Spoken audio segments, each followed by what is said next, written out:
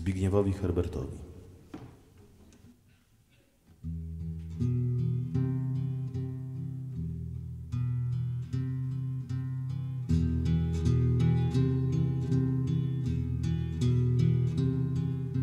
Oto oswajam śmierć, szlifuję soczewkę pamięci, akwarium ryb egzotycznych, wzdętych okiem epoki, kurz na skórze rąk, sproszkowane diamenty, dobrowolna cykuta, kulturalny narkotyk, wypukły meniskusy, nieme twarze widać najostrzej, powtarzają bezgłośnie swą nieustanną przestrogę. Krzyczy Marsjasz i Hamlet, połyka powietrza ostrze Fortynbras i Apollo. Z krwi każą spłukać podłogę.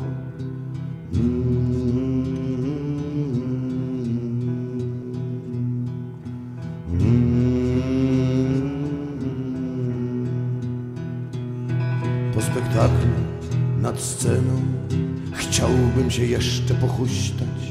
Dialektyki sznur szorstki kusząco stęka na haku, ale idealistą pisane łoże prokrusta, dostojna faza skargi, pokora potęgi smaku, przed śmiesznością męczeństwa, broni ironii peryskop, system ukośnych luster, zmyślna pułapka na światło, lecz czaszka zła utkwi w oku, gdyby się lustro rozprysło, a brukowcem pogardy rozbić je bardzo łatwo.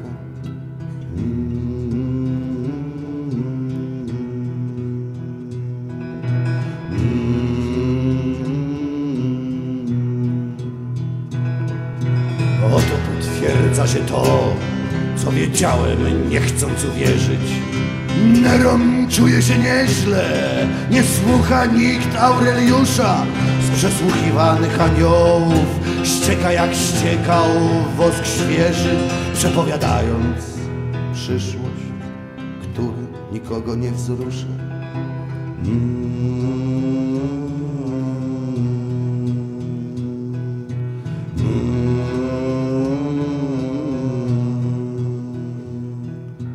Tak więc oswajam śmierć, za rydzę czerń miłosierną.